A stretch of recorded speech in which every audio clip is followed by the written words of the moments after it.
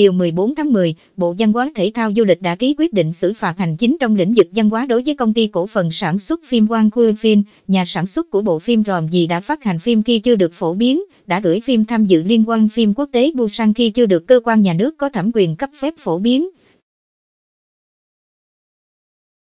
Theo đó, nhà sản xuất bị xử phạt 40 triệu đồng. Tình tiết tăng nặng với phim là tiếp tục thực hiện hành vi vi phạm dù đã được Cục Điện ảnh yêu cầu chấm dứt. Thanh tra Bộ Văn hóa Thể thao Du lịch yêu cầu hủy phiên bản phim gửi tham gia Busan và nhà sản xuất phải nghiêm chỉnh chấp hành quyết định này trong vòng 10 ngày, nếu không sẽ bị cưỡng chế. Trước đó sản phẩm điện ảnh của đạo diễn Trần Thanh Huy từng gây ồn ào trước khi liên quan phim Busan diễn ra vài ngày.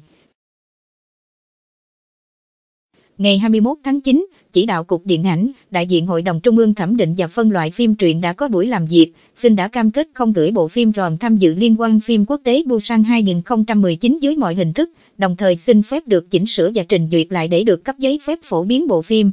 Ngày 23 tháng 9, phim đã gửi thư xin rút phim ròm, không tham dự liên quan phim Busan 2019 tới giám đốc liên quan phim.